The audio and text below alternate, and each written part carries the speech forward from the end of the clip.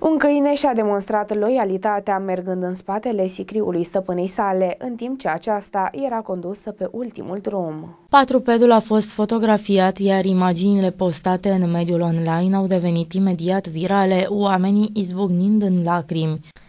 Bessie, câinele, a participat alături de toată familia la înmormântarea stăpânei sale, vizibil îndurerat.